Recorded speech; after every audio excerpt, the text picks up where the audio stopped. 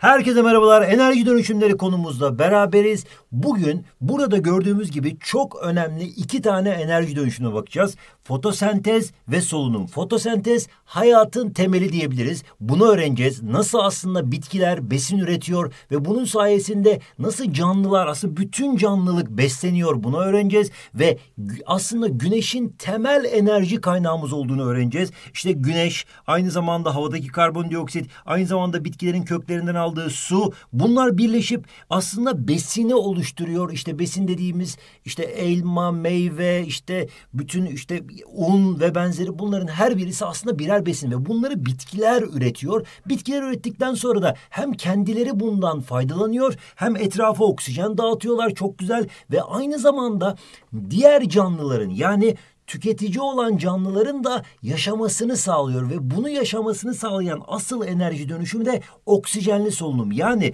burada güneş enerjisini biz aslında besinin içerisinde kimyasal enerjiye dönüştürüyoruz. Ardından bu besini biz yiyoruz ve havadaki oksijenle birleştirip mitokondri ve benzeri organeller sayesinde enerjiye dönüştürüyoruz. Koşuyoruz, zıplıyoruz, uçuyoruz, kaçıyoruz, her şeyi yapıyoruz ve sonunda da karbondioksit üretiyoruz. Bunu beraber öğreneceğiz ve bu karbondioksit ne güzel bitkiler tekrar temizliyor bize oksijen olarak geri veriyor. İşte solunumun çeşitlerine de bakacağız. Oksijenli solunum, oksijensiz solunum, fermentasyonun ne demek olduğunu öğreneceğiz ve bununla aslında birçok besin maddesini de ürettiğimizi de işte yoğurdun ve benzeri üretimi de bunu beraber öğreneceğiz. Çok değerli bir konu. Hayatın temeli diyebiliriz. Peki burada çok önemli bir duyuru yapmak istiyorum toplam bir hafta sonra harika bir kampımız başlıyor. Hızlanma programımız başlıyor.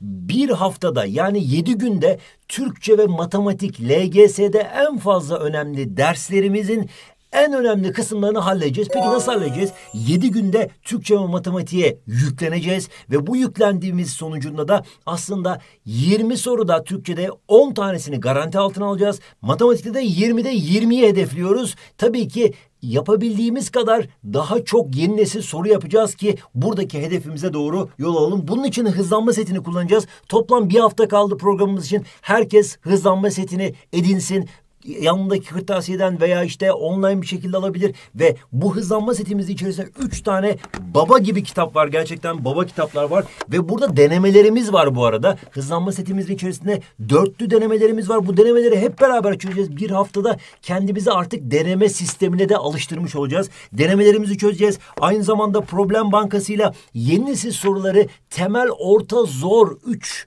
basamakta halletmeye çalışacağız ve aynı zamanda paragrafonsla da S serisi bu. Burada da aslında paragrafın denemelerini çözeceğiz. Kendimizi hızlandıracağız. Süreli denemeler çözeceğiz burada da. Hadi bakalım o zaman şimdiden hızlanma programında çok güzel sonuçlar getireceğiz hep beraber ve hadi bakalım o zaman konumuza geçelim.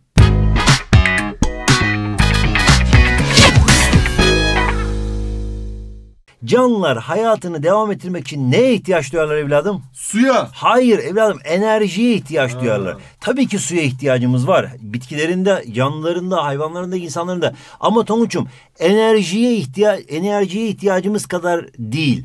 Su, susuz da insan yedi gün yaşayabilir değil mi? Aa. Ama enerjisiz bir saniye bile yaşamayız. Enerji, enerji. Hayır evladım saçma. Sinerji. Ne diyorsun evladım böyle saçma sapan şarkılar. Bu enerji besinlerden elde ettiğimiz enerjidir. İşte mesela e, bir organik besinler var, bir inorganik besinler var. Besinler olarak inorganik besinlerden hangisi en önemlidir? Tabii ki senin söylediğin gibi su, su en önemlidir. Ama tekrar söylüyorum sana.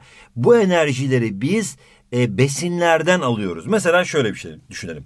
Bir tane bitki var. Bak bu zaten sınavlarda, okul yazılarında ve herhangi bir şekilde karşına şöyle bir fanus gelir. Neden biliyor musun? Ufak bir mini bir sistem kurarlar. Dünyayı temsil eder bu. Bak mesela şöyle bir fanusun, cam fanusun içinde bir tane bitki var Tonguç evladım benim. Bir de tavşan var. Bak bu bitki aslında dünyadaki bitkileri temsil eder. Bu tavşan da dünyadaki hayvan ve insanları temsil eder.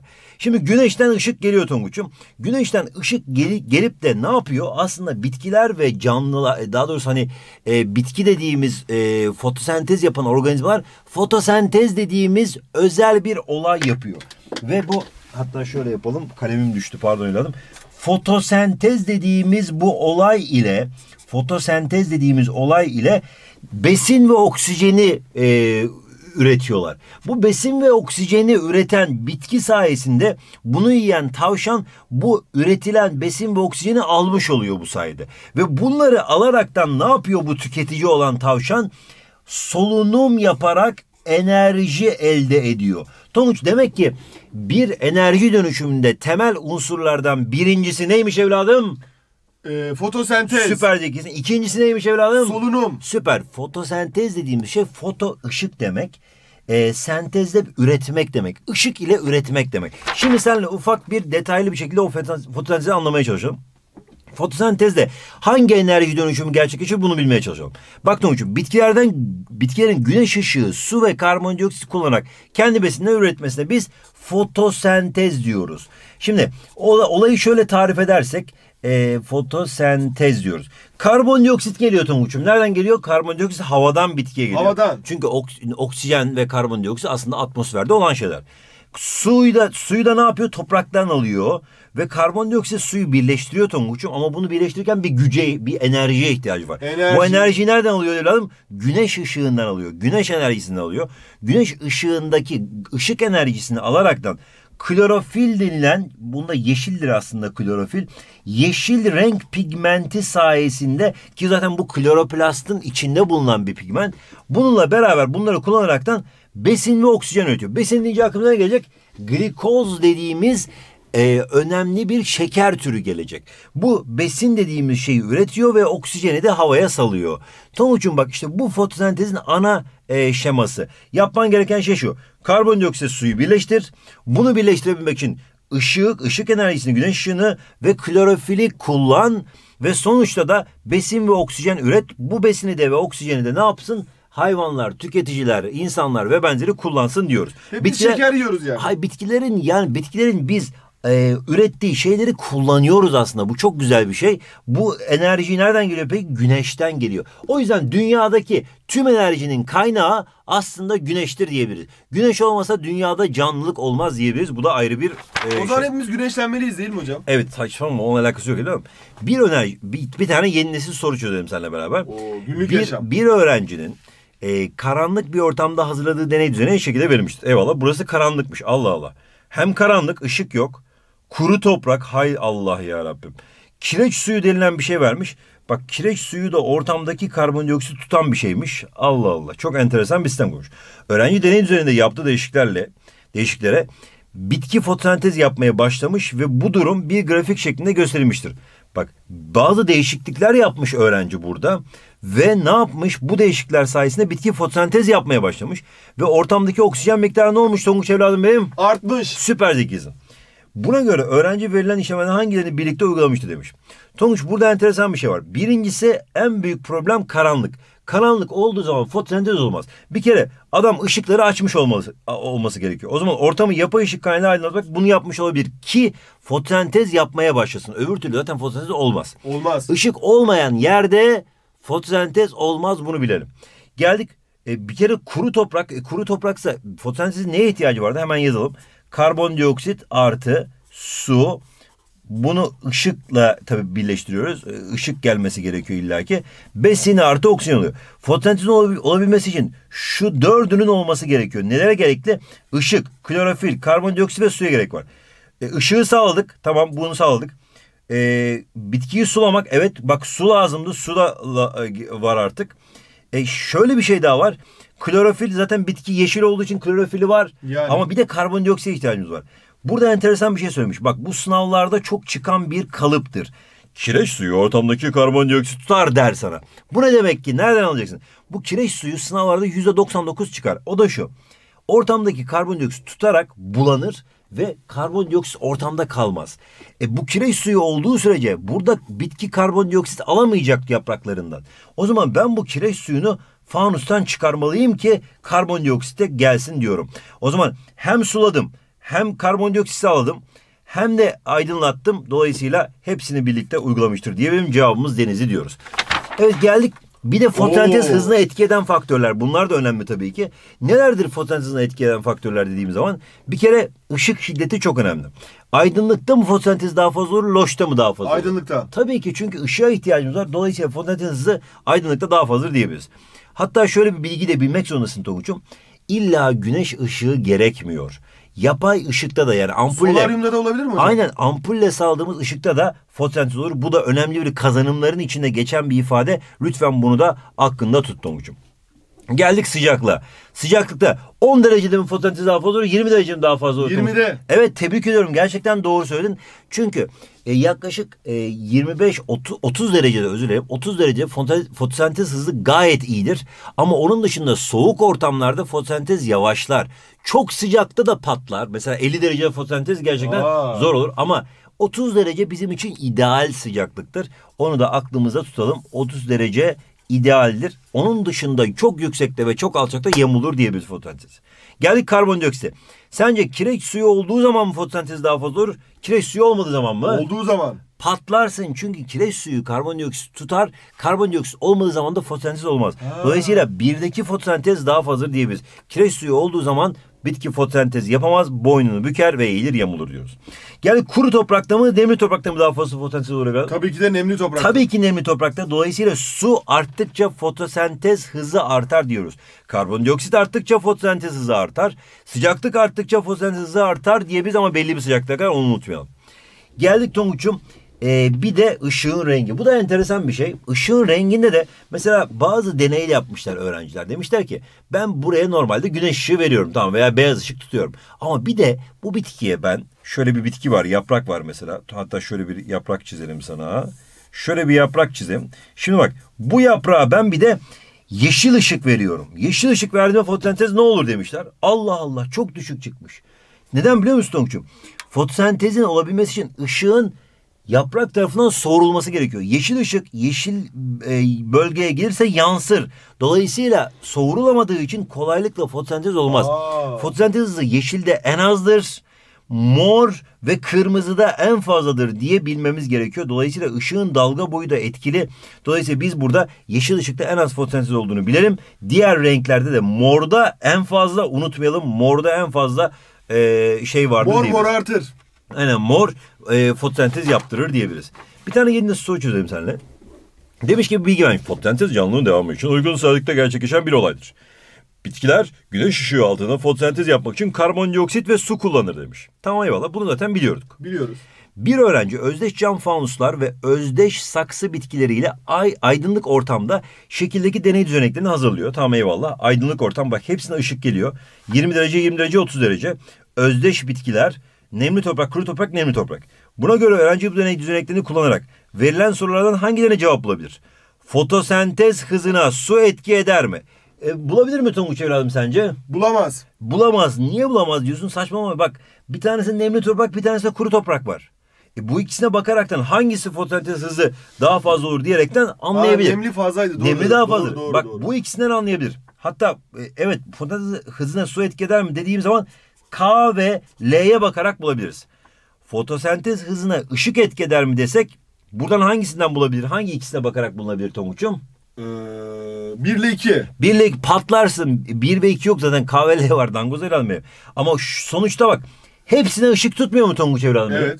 E o zaman nasıl anlasın böyle bir şeyi? Anlayamaz ki. Yani bir tanesine ışık tutup bir tanesine ışık tutmasaydı aa ışık tuttuğunda daha fazla oluyor diyebilirdi. Ama şu anda hepsine ışık tutuyor. Kontrol grubu yok. Aynen süper zekisin. Gerçekten olağanüstüsün.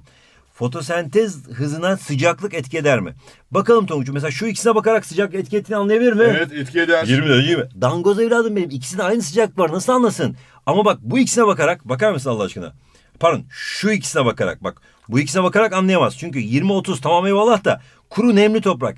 Belki nemli toprak yüzünden daha fazla fotosentez olacak. Ama şu ikisine bak Tüm Tonguç'um. koşullar aynı olmalı. Tüm koşullar aynı. Sadece sıcaklık farklı. Işık da var. Her şey aynı zaten. Sadece sıcaklık. O zaman burada K ve M'ye bakarak anlayabilir. Gerçekten de cevabımızın 1 ve 3, 3 olduğunu söyleyebiliriz. Tebrik ediyorum seni. Güzel soru. Geldik solunuma bakalım. Bu soluk alıp verme. Bu gaz alışverişi. O farklı bir şey. Besinlerin hücre içerisinde parçalanmasıyla ne elde edilir Tonguç evladım benim? Enerji. Evre, ev, tebrik ediyoruz. Gerçekten enerji, olağanüstü Enerji. enerji dediğimiz şeyi elde edebilmek için bizim solunum yapmaya ihtiyacımız var. Solunum dediğim şey iki türlü olabiliyor. Birincisi oksijenli bir tanesi oksijensiz. Oksijensiz solunum nasıl olur diyeceksin. Gerçekten garip bir şey. Ama oksijenli solunum şöyle oluyor. Besinleri yiyoruz tonguçum cumbur lop lüp diye yiyoruz. Sonrası ne yapıyoruz? Nefes alıyoruz. Ne alıyoruz buradan? Oksijen alıyoruz. Bu oksijeni e, aldıktan sonra ne yapıyoruz? Çişe gidiyoruz sonuç evladım biliyorsun. Ve nefes veriyoruz. Ne veriyoruz? Karbondioksit veriyoruz. İğrenç insanlarız İşte hocam ya. hayır lan bu çok doğal bir şey. Solunum dediğimiz şey aslında besinleri yemek, sonra oksijeni alıp da o besinleri onunla beraber reaksiyona sokup tepkimeye sokup yakmak ve yaktığımız sonuçta da sonunda da su ve karbondioksit vermek demek. Ama bunun sonucunda ne elde ediyoruz aslında? E harfi. Yani enerji elde ediyoruz Tonguç evladım benim. İşte bu enerji için her şeyi yapıyoruz Tonguç'um. Yani besin artı oksijen, su artı karbondioksit artı enerji dediğimiz şey yüzünden her şeyi elde ediyoruz. Yapıyoruz daha doğrusu. Geldik Tonguç'um oksijenli solunuma. Oksijenli solunumun özel hatta şöyle bir tane bak aklıma bir şey geldi, bir fikir geldi. Enerji. Aa. Böyle e, ikisi aslında e, e içeriyor ya Aa. oradan aklıma geliyor. Şimdi Fazla Tonguç- enerjinizi harcamadan Evet. enerji yazdınız. Tebrik ediyorum. Ee, oksijenli solunumu özelliklerine bakın. Besin kullanılıyor. Besin kullanıyor tamam eyvallah. Oksijen kullanıyor tamam eyvallah. Açığa çıkan enerji miktarı fazla. Burada şunu bilelim bir de oksijen solunumu dediğimiz şey de oksijen solunumu normalde e, bizim mitokondri organelimizde hücrenin içinde olan bir şey.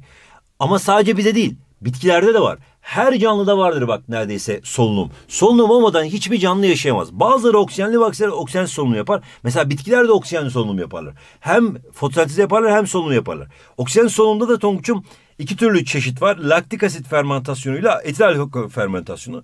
Neden buna fermentasyon diyorlar? Aslında oksijen solunum diğer bir adıyla fermantasyon. Fermantasyon dediğimiz şey aslında bir şekilde mayalanmayla aynı şey.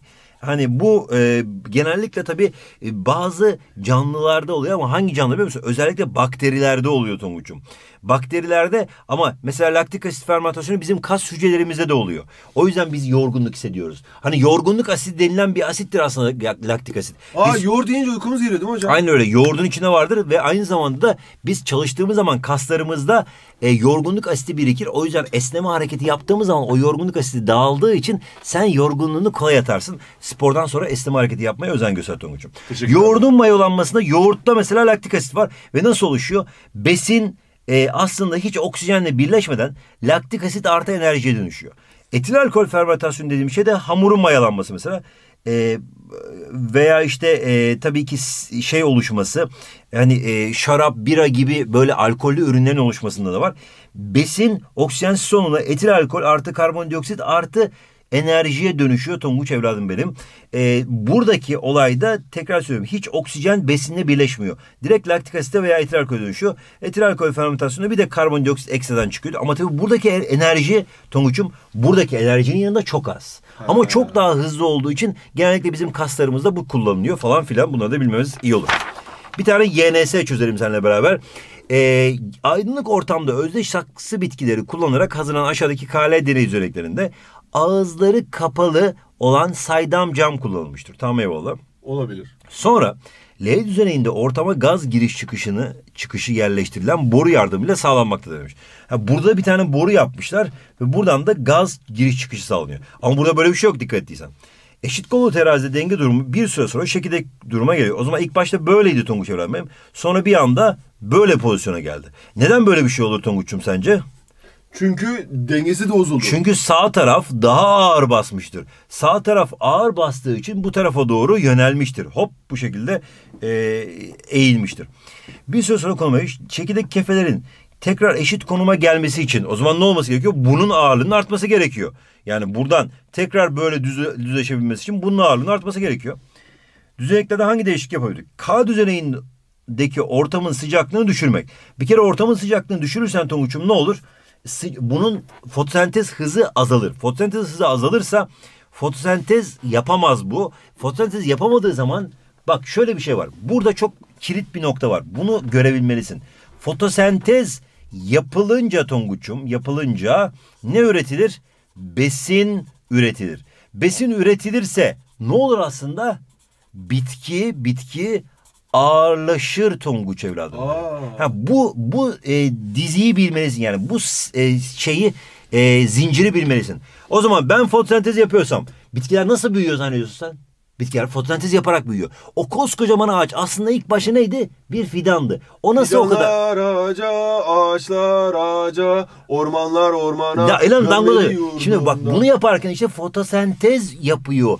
Fotosentez yaptığı zaman büyüyor. İşte o yüzden de ağırlaşıyor. İşte bunun ağırlaşmasını istiyorsak biz denge durumuna tekrar gelebilmek için K düzeyinde ortam sıcaklığını düşürmek değil tam tersine arttırmalıyız ki daha iyi fotosentez yapsın. Bu yanlış olmuş.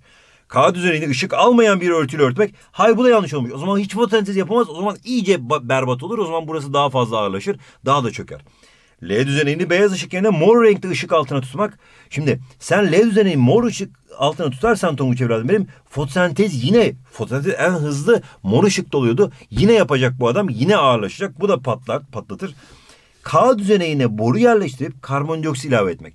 Adam zaten burada gaz alışverişi yapamadığından dolayı karbondioksit alamadığı için fotosentez durmuştu. Neden? Nemli toprak tamam eyvallah sıcaklıkta iyi de ya kardeşim bana karbondioksit lazım bana böyle gel. Bana, kar- karbondioksit ver, dünya Aynen. yerinden oynatayım. Bana karbondioksit verdiği zaman gaz alışverişi sağladığı zaman çat diye fotosentez yaptı. Ama bu yapamadı.